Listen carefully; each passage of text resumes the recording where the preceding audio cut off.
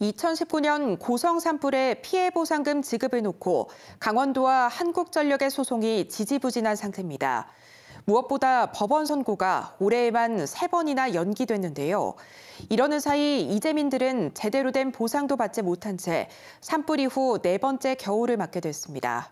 정명구 기자가 보도합니다. 2019년 4월 고성 산불로 집을 잃은 이재민을 위해 마련된 임시주택입니다. 산불이 난 지 3년 7개월이 지났지만 이재민 57명이 여전히 임시주택 31동에 살고 있습니다. 불안하죠. 불이 들까 봐 빨간 게.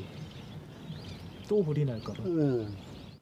새 거처가 마련될 때까지 임시로 머물 주택이었지만 사실상 장기 거주지가 돼버렸습니다. 무엇보다 피해 보상이 마무리되지 않아 이재민 가운데 상당수가 여전히 이곳을 떠나지 못하고 있습니다. 당시 전신주에서 튄 불꽃이 산불 원인으로 지목되면서 한전이 내기로 한 피해 보상금은 1,039억 원입니다. 이 가운데 628억 원이 지급됐지만 나머지는 중단된 상태입니다.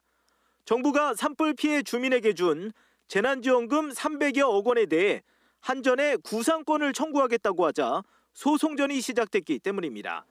지난해 2월 시작된 소송은 올해 2월 선고 기일이 잡혔다 연기되는 등 세 차례나 선고가 미뤄졌습니다. 법조계에서는 사안의 중요성을 감안하더라도 상당히 이례적이라는 지적이 나옵니다.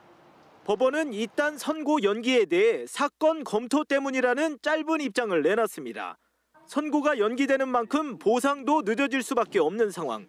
이러는 사이 산불 피해 주민들은 벌써 네 번째 겨울을 맞게 됐습니다.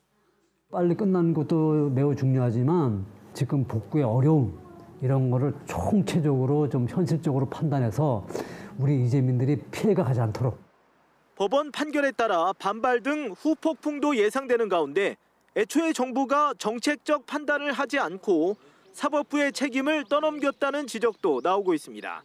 KBS 뉴스 정면구입니다.